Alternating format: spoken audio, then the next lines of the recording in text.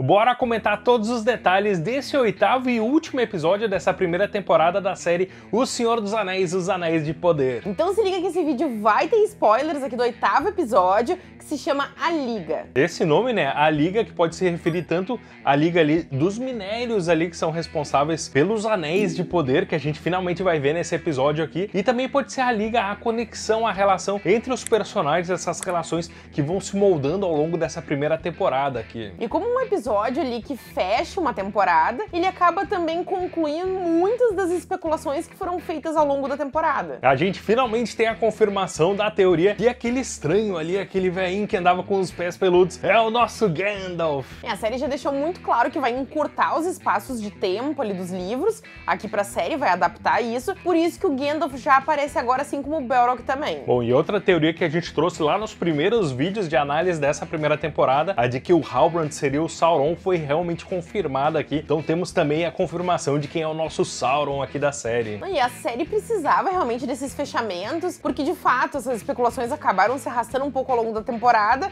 e não tinha como elas irem para a segunda temporada, elas tinham que se fechar agora. E esse episódio teve todo um clima assim de despedida, né? Ele, o episódio que em vários momentos tem um tom bem melancólico, assim, com cenas fortes de despedida. Em alguns momentos tem até um tom bem triste. E ao mesmo tempo também que tinha esse tom triste, ao mesmo tempo também tinha um tom de esperança, já que aqueles anéis dos elfos estavam sendo forjados e assim, que cenas épicas. Eu achei muito maneiro o Celebrimbor dizendo, né? Eu decidi que a gente vai usar ouro e prata de Valinor. E para isso ele usa aquela adaga ali do Fëanor, do irmão da Galadriel, para fazer aquela liga com Mithril e forjar esses anéis de poder. É coisa que só ele mesmo, os artífices topzeiras ali de Eregion, que conseguiriam fazer naquela época. É claro que a gente viu ali que teve uma mãozinha ali do Sauron, né, que ajudou eles, mesmo sem eles perceberem, né, nos escritos do Tolkien, é o Anatar que faz isso, né, o Sauron com essa figura de Anatar, mas aqui o Halbrand faz isso, eles não percebem em nenhum momento que era o Sauron que estava de alguma forma ajudando eles a forjarem aqueles anéis de poder, o que realmente foi muito épico, né. E nesse arco aí também fica um gancho para os elfos se animarem com a ideia de forjar anéis, começar a forjar loucamente e o Sauron voltar rasgando tudo e roubar os anéis todos. Bom, e no arco do Gandalf eu achei muito interessante, a gente realmente teve a confirmação que é aquele momento em que o Gandalf, o Istar, ele vai para a Terra-média, ele está se descobrindo, compreendendo os poderes dele, quando ele começa a ter um domínio maior sobre o potencial dele, ele tem aquele embate com as sacerdotisas que eu achei muito maneiro. É quando as sacerdotisas começaram a se ajoelhar, Sauron, eu pensei, ah, elas estão enganadas, esse não é o Sauron. Não tinha como passar a temporada inteira brincando de frutinhas ali com os pés peludos, não tinha como ser o Sauron, tinha que ser um mago tinha que ser um Istari, tinha que ser o Gandalf. Bom, e aí a Gabi comentou sobre esse arco, né? Tá aqui um dos, talvez, problemas assim leves desse encerramento aqui da série. Eu acho que se estendeu demais esse arco dos pés peludos, principalmente nesse episódio a gente teve uma despedida que não terminava, né? Era abraço e tchau, adeus, aí mais um abraço. Eu acho que eles gostaram bastante de estabelecer esse elo que a série fez com os filmes do Peter Jackson e os Hobbits lá, mas eu acho que esses tão melancólicos eles pesaram um pouco a mão aqui. E vendo essa chegada ali do Gandalf em Terra-média e esse contato ali com os pés peludos faz a gente entender muito depois o carinho que o Gandalf tem pelos Hobbits, né? Já que os pés peludos são os ancestrais dos Hobbits. Então a gente vê toda a relação dele com a Nori que vai se aprofundando muito e que vai trazendo algo de muito especial pro Gandalf. É, eu só achei estranho essa despedida da Nori aqui porque ela tá indo, sabe-se lá para onde, sabe-se lá fazer o que, não ficou bem claro ainda. Então tem todo esse tom de despedida, ela tá meio que só saindo ali da tribo dela, do grupo dela, pelo desejo de se aventurar pelo mundo, né? E sobre o Gandalf, essa revelação aqui, a série já tinha nos dado várias pistas, a gente achava que a Amazon tava tentando nos enganar, mas em vários momentos ali, os pés peludos cantando aquela música que era uma frase que o Gandalf trazia lá na Sociedade do Anel, ele falando dos vagalumes, e agora, nesse oitavo episódio, ele dando aquela dica ali pra Nori, é, em caso de dúvida, sempre siga o seu nariz, né? É algo que ele tinha falado também lá no livro A Sociedade do Anel. Então aqui a gente teve a confirmação que realmente é o Gandalf. É, outro gancho que ficou que foi Númenor, né? Que a gente vê que o rei morreu. E aí a gente vê aquele olhar bem malicioso do Alfarazon, pronto para dar um golpe, pronto para derrubar Númenor. Então a gente já sabe aí que tem,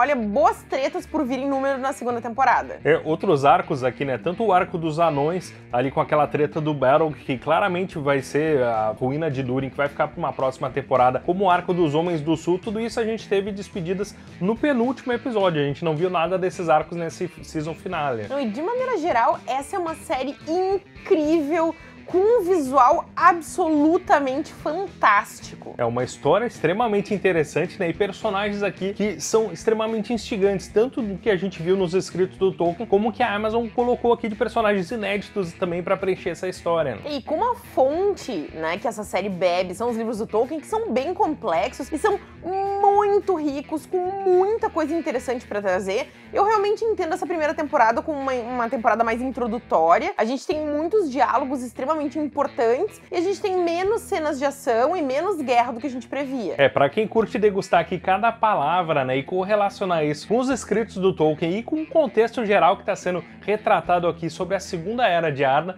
a gente tá amando aqui a série. E talvez para aqueles amantes de ação que querem ver muita espadada e muito corte, muito orc sem cabeça, talvez sinta um pouco de falta desse aspecto na série. É, talvez isso reflita até o próprio ritmo dos textos do Tolkien, que é um pouco mais descritivo, né? Talvez quem tenha como referência maior os filmes do Peter Jackson tenha ficado com essa impressão que o, as histórias do Tolkien são com ação o tempo inteiro e ritmo frenético, mas não é bem assim. É, mas os livros eles são muito mais sobre assim todos os lugares que eles estão passando, sobre os personagens e sobre tudo aquilo que está acontecendo naquele mundo ali. Agora uma coisa que é inegável aqui é o capricho com tudo, né? Cada cena que a gente vê, a gente tem a impressão que a série realmente teve esse cuidado de retratar ali o que está sendo contado pelo Tolkien, ou então tentar de alguma forma se é criar um conteúdo novo em cima dessa segunda era, fazer isso de uma maneira que seja é, muito espelhando aquele texto do Tolkien. Então isso, esse cuidado que eu achei muito legal. Né? As atuações também têm de altíssimo nível e a gente vê assim que to, assim a história ela vai avançando bem pelos detalhes. A gente vê que todos os diálogos vão se conectando ao longo dos episódios. E cada vez que a gente tem vontade de rever, a gente reassiste algum episódio aqui, a gente vai pegando mais referências e a gente vê todo o cuidado que eles realmente tiveram de trazer essas referências do texto e às vezes referências que não são muito óbvias, que a gente vai descobrindo aos poucos. Né? Mesmo com a liberdade também de criar algumas coisas novas aqui pra série sobre a Segunda Era. Mas é muito interessante quando eles trazem aquele lore antigo, eles falam das criaturas mágicas, de coisas que aconteceram às vezes na Primeira Era, que não é né, bem o foco da série, mas a gente tem referências aqui ao Vala das Águas, o Humo, bastante referência ao Vala da Terra, o Aule. Eu adoro quando a série faz esse passeio também. E também sobre todos os símbolos que aparecem na série. A gente vê sobre a Cimarilli, a gente vê sobre as árvores que choram, os anéis. Eu, sinceramente, tô completamente apaixonada pela série. Bom, uma série que começou já em altíssimo nível, com muito potencial para a gente ver histórias fantásticas e arcos incríveis aqui daqui para frente, né? E é uma série que certamente marca a história cinematográfica, não só pelo orçamento estrondoso aqui, mas com uma aplicação muito bem feita desse orçamento, com um visual espetacular aqui, uma narrativa muito boa. Então a nossa nota para essa primeira temporada da série O Senhor dos Anéis, Os Anéis de Poder é 5. Lembrando que as nossas notas vão de 1 a 5 e seguem os nossos critérios de avaliação. Então se tu concorda, não concorda, comenta aqui embaixo, dá um like e te inscreve no canal para ficar por dentro dos próximos vídeos. E até a próxima!